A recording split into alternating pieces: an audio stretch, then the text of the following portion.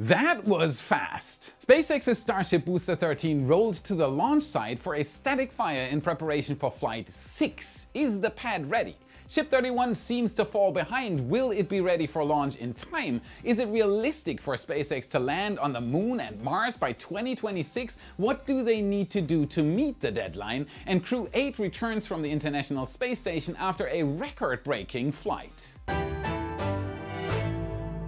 My name is Felix, welcome to What About It, let's dive right in. Starship updates. Things are moving fast at Starbase. With SpaceX's internal goal of November 11th fast approaching, work is happening around the clock ahead of Starship's sixth orbital flight test. After every launch, the pad needed extensive repairs, typically taking around a month to complete, with the record being 23 days between Flight 3 and Booster 11 stacked for a static fire in preparation for Flight 4. Because we had seen very few signs of upgrades to the launch mount and the added strain of catching the world's largest rocket booster out of mid-air, most of our best estimates regarding when SpaceX would be able to roll out Booster 13 for its static fire campaign put it near the start of next month at the earliest. However, I am excited to say it seems even with our very short estimate, we were still underestimating SpaceX's will to move forward. On the 21st, SpaceX rolled a new booster transport stand into the Mega Bay before lifting Booster 13 onto it. Then, shortly after, we saw this. A road closure for Highway 4 between the production site and the launch site for the evening of the 22nd. And sure enough, Booster 13 was rolled out of the Mega Bay and down Highway 4. This is the first time we've seen this booster since April during its early spin prime test. In that time, it's received all 33 of its Raptor engines and its 4 grid fins, as well as a few other upgrades. Let's look at what this booster has in store to give SpaceX an even better catch on Flight 6. What are the improvements this time? Most notable are the new guide rails, which allow the booster to slide down the chopsticks without anything getting entangled during a landing. We saw the same upgrades on Booster 12. Another upgrade we could spot was a change in the design of the cowbells. These are nozzles used to angle vented gases from the booster while providing thrust in a certain direction. It allows them to serve multiple purposes, and we can see that the new design is much more rounded, possibly an attempt to increase their efficiency.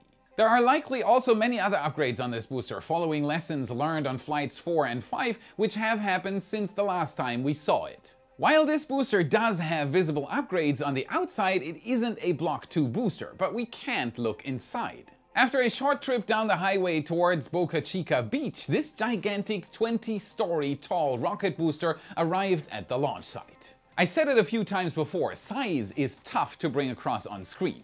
This graphic compares other famous launch systems like Falcon Heavy, the Space Shuttle, or old and new moon rockets like SLS, Saturn V, and the Russian N1 to what is about to revolutionize spaceflight right now. Look at how tiny the Falcon Heavy and the Space Shuttle look in comparison. Starships are insanely large. Later that same day it was placed between the arms of Mechazilla and lifted into the air. This was incredible to see as it shows just how well these arms held up after the catch, proving that not only does this concept work, but as far as we're aware, it also already meets the requirements for rapid reusability. No landing legs required. The booster was then moved over to the launch pad before being placed down on top of it. Then the booster quick disconnect was attached and all systems appeared ready. This is huge, as SpaceX was able to turn this pad around in record time. It only took 10 days to prepare it for a possible static fire after Flight 5. Of course, the real test of this pad wasn't just placing the booster on top of it to see if it fit, but rather a full static fire of 33 Raptor engines.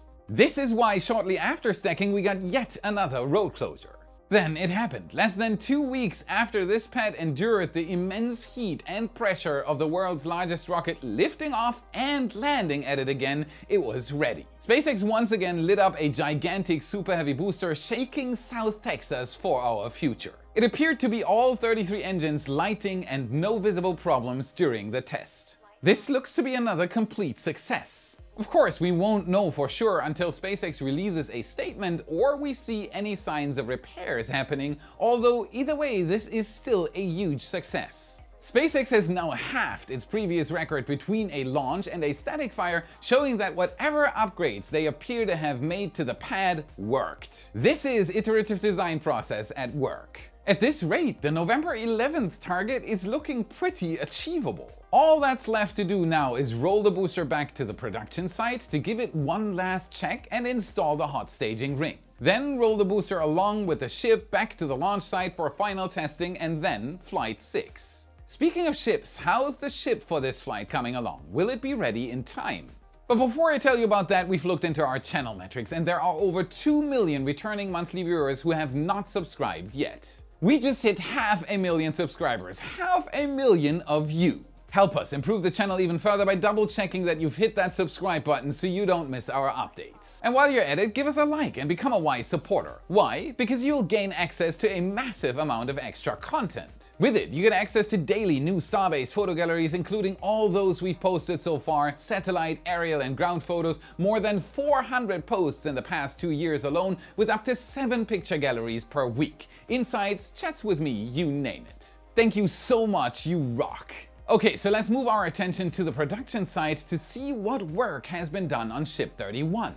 Looking at the photos, we can see that its tiles continue to be worked on. However, it appears almost all of this work is still focused around the flaps and, interestingly, on the glued tiles. Here you can see that quite a few tiles are missing in seemingly random places. Although all of these tiles have one thing in common, they were sensor tiles. Unlike the standard tiles which cover the majority of the ship, these areas have sensors built into them so SpaceX can monitor the ship during re-entry. However, this hardware also makes it to where these tiles need to be glued on, which is seemingly why they've been removed. Shout out to David Guayardo from the Mexanauts for lending a hand and holding the tile so I could take a picture and to Ron Hard Rock for letting us take the picture in the first place. It appears that the adhesive SpaceX was using on these tiles couldn't withstand re-entry, so workers have been focusing on replacing those sections. But that also begs the question why hasn't SpaceX begun work on the rest of the tiles? Hmm.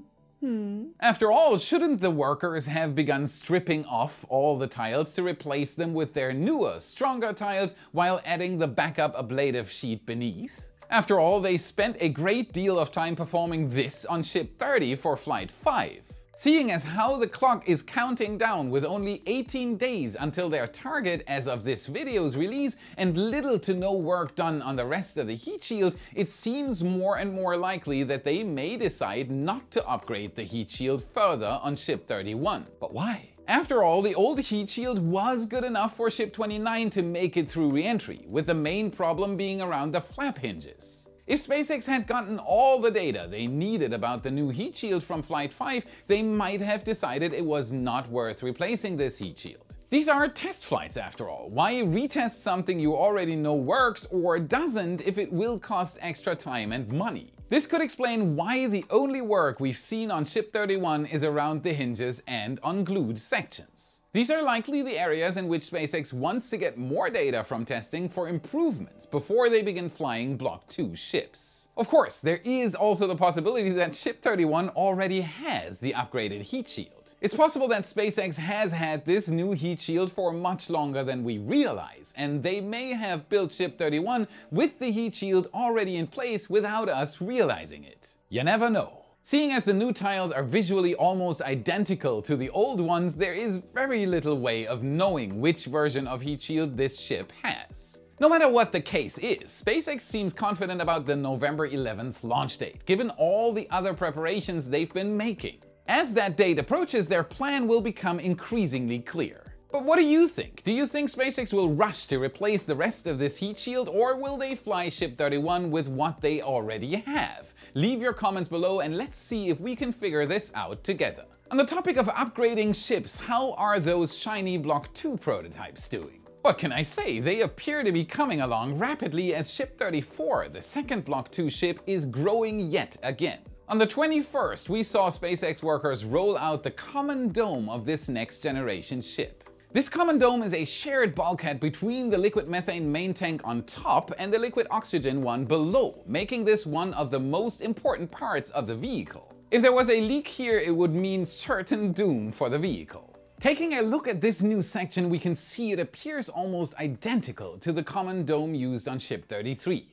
It also sports the odd downcomer connection, which can be seen hanging down from the section. After this section was rolled to Megabay 2, Ship 34 was lifted over the top of it before being connected and placed on top of the welding turntable to be attached. Yes! Woohoo! 34!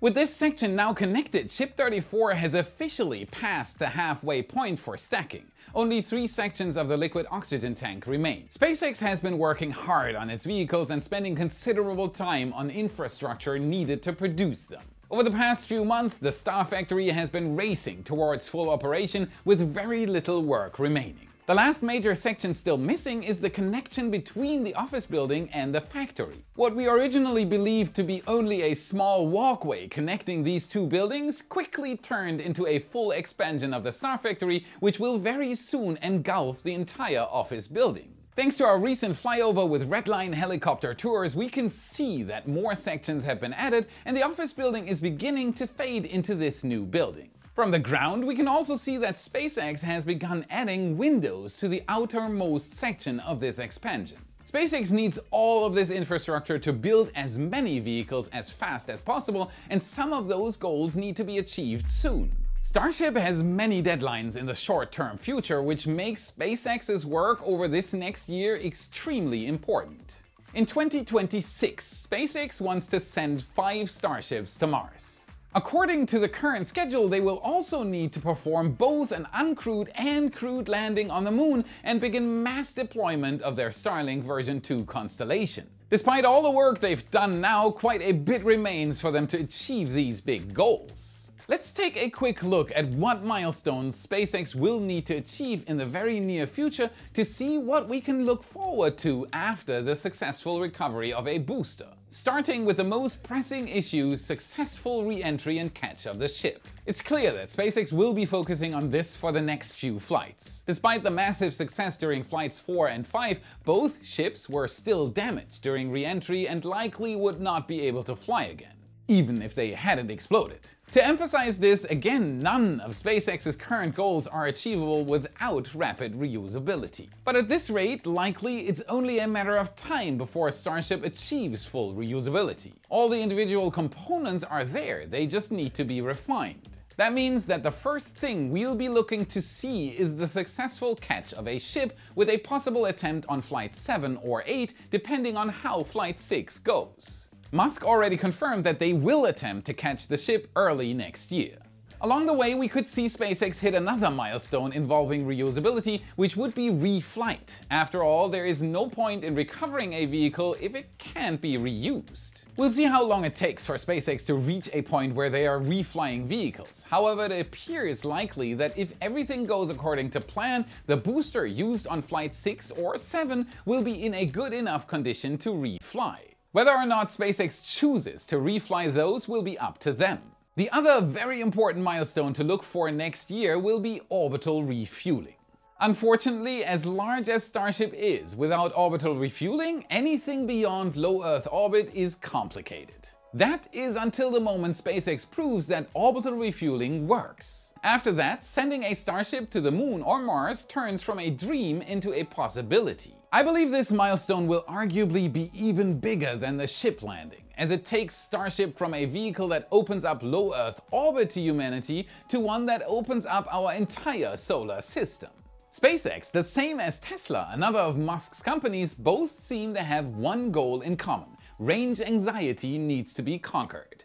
Only for SpaceX, range will be measured in millions of miles rather than hundreds. This brings us to our next milestone. We should see SpaceX develop a Starship with legs within the next year or so. Wait a sec, isn't Starship supposed to be caught at the tower? Well, yes, here on Earth, Starship can be caught by Mechazilla. However, it needs to be able to land on the Moon and Mars, and last I checked, there are no Mechazillas there. Yet. This should be fairly easy on the Moon, as SpaceX doesn't need to worry about entering an atmosphere. Nevertheless, making landing legs for Mars may prove to be a challenge, as it's likely they will need to be on the outside to extend wide enough to prevent a tip over. Wow. This means the legs must be attached without compromising the delicate heat shield. This is a huge challenge. Anything that interrupts the heat shield is a possible failure point. The other thing we will need to see soon is the development of a life support system for Starship. The current timeline requires a lunar landing by 2026. However, SpaceX will likely be able to develop this fairly easily by taking lessons and systems from its Crew Dragon capsule. It's also possible that the early crew versions of Starship will have a much smaller pressurized area to reduce complexity. After all, NASA doesn't want to send 50 astronauts to the surface of the moon on Artemis 3, just two. All of these things are going to take a lot of launches, with each mission to the moon or Mars predicted to take 10 Starship flights each to refuel. That's not even counting other launches, such as for Starlink or testing purposes, so according to SpaceX's current plans, we may be looking at over 60 Starship launches in 2026 alone.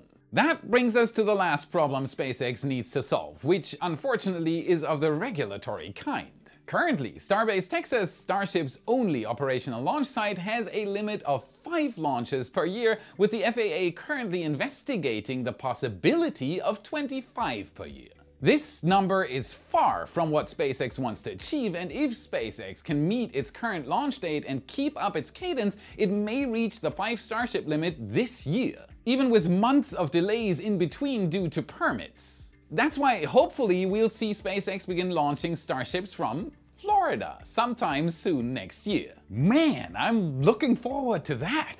SpaceX is pushing for approval for 120 launches per year from here to start, which should be enough for their near-term goals. However, that also means they'll need to finish building the launch site here, which has not seen any work in quite a few months now, with progress seemingly going backward in some places. This is because the launch site they want to build here will be a fully operational launch site rather than the testing sites they are building in Texas. We know that SpaceX's goal is to have this launch site ready by 2025, meaning we should begin seeing work resuming here any day. We are closely watching. As of now, these are the main milestones SpaceX will aim to achieve in the next 12 months or so, which shows just how crazy things are about to get.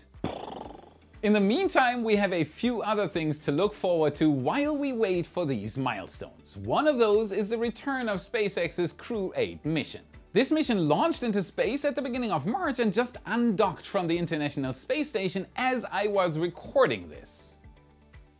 As of now, the Crew Dragon is set to splash down shortly before this episode goes live. However, it could be pushed back a little longer due to weather, as this mission has encountered a near record number of weather problems keeping it from returning. Because of these delays, this mission now holds the record for the longest time a Crew Dragon or any American crew vehicle has ever been in space. 263 days or nearly 8 months. This record is extremely impressive, as it is over a month longer than the previous record, which was 199 days set by Crew 2. In fact, this record puts Crew Dragon past NASA's minimum design requirements, which were set at 210 days in space, showing just how capable the craft truly is. This mission is also the first time a NASA mission will return with the option of a propulsive landing for the capsule if all parachutes fail. Please don't. Fortunately, the scenario is extremely unlikely, so we are unlikely to see that used anytime soon, but it still is important to note. As the final milestone that this crew capsule achieved, it's also the first operational crew capsule to have six seats. As it was temporarily transformed into an emergency lifeboat for Butch and Suni, the two Starliner astronauts, if they needed to return to Earth in an emergency after their ride to the space station had some malfunctions. Fortunately, these seats were not needed, as Crew 9 will now be taking those astronauts back, but it is an interesting milestone nonetheless. Good job Crew 8 and welcome back to Earth. That's it for today. Remember to smash that like button, subscribe for more. This is what fuels the algorithm. This is how you can help us for free. Check out our epic shirts in your favorite Space Nerd store. A new Raptor design and our epic Flight 5 design are both up. Grab an early Christmas gift. A link is in the description and in the card you should see now. And if you want to train your space IQ even further, watch this video next to continue your journey. Thank you very much for watching and I'll see you again in the next episode. Then with her. This is going to be a nice recording. but we can't look inside. It's not that hard. There's the voice gone. Huh? Have made to the pad worked. That one always works.